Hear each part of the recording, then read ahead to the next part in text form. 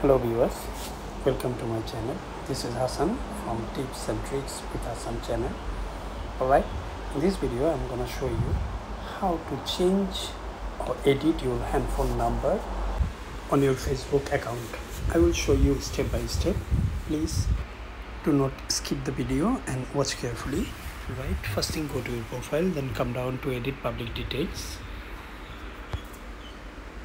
look at the screen where the finger is pointing. Edit profile. Scroll down one more time again all the way to the bottom. Then click on edit your about info. Scroll down until you see contact info. So you can see my number is here. If you press on the number it will ask if you want to call but we are not here to call. We are here to edit. So click on edit. Then after this we have to check the privacy. So the privacy as you can see the privacy here currently is only me. I want to keep it private. So that's why i keep it uh, i set up it's like only me. So now i will show you how to add another phone number. Right? I want to add another phone number. So all you have to do click on add another phone number. Then so the country code is here. So i will show you. This is my current. I want to add this new number here. Right. Continue. So make sure that you have the sim card ready and active because they will facebook will send you a confirmation code which you have to input here on this confirmation code. So as you can see i have received the message and i have received that number. So this will be the confirmation number of my facebook account. For now so once I click on this confirm right so the phone number is confirmed for now.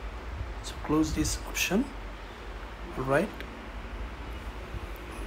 then you can go back and check again. So currently it's not showing here. Uh, I may be okay it's here.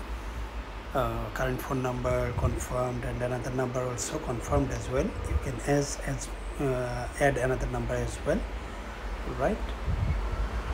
Then yes we have done. Okay let's go back see how it's still not here. Okay because I have to refresh the number page. Let's go back once again. Okay the number is here. Right so let's go back. As you can see now yes the number is already here. Okay go back to the contact info and check yes the number the both number is now only me. So i'm the one only can see this those numbers. No one else will be able to see those numbers anymore. You can add some specific friends also so that the, those specific friends will be able to see only. Okay other than that no one else will be able to see. Right guys thanks for watching the video. I don't want to make this video any longer all right so take care. Bye bye. Like the video comment the video share the video and subscribe the channel please. Thank you.